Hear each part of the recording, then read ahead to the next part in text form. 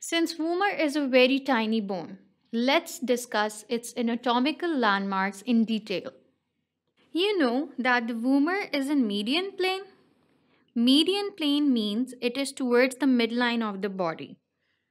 Its anterior portion is mostly bent to one side.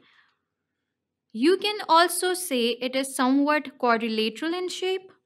It has two lateral surfaces and four borders. If you have a closer look, there we have a superior border, an inferior border, anterior border, and posterior border. Now moving on, on each surface, there is an anterior-inferior groove present for the passage of nasopalatine nerve, so named as nasopalatine groove. Lateral surface on each side is covered by a mucous membrane.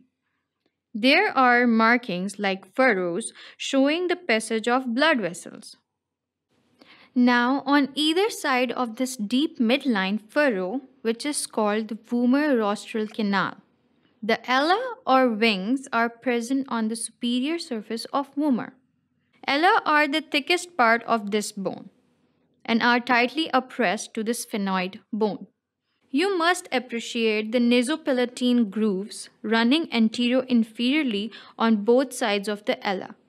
The perpendicular plate of the vomer is a thin vertical sheet of bone on the midline below the wings. After the surfaces, now let's discuss the borders of the vomer bone. If we look at the skull from this view, we can appreciate the superior border of vomer, which is thick and is grooved between the two diverging alae. The groove fits over the sphenoidal rostrum. The margin of ala intervenes between the body of sphenoid and vaginal process of medial pterygoid plate. The vomerovaginal canal is formed between the ala of vomer and vaginal process of medial pterygoid plate.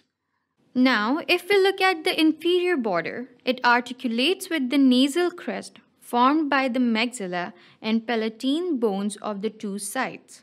Now posterior border is free and separates the two posterior nasal apertures and it is non-articular.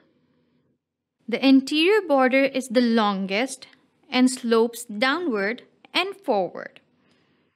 In its upper part, it articulates with the perpendicular plate of ethmoid and inferior nasal conchae and in its lower part with the septal cartilage. Now you're familiar with all the important landmarks of vomer bone.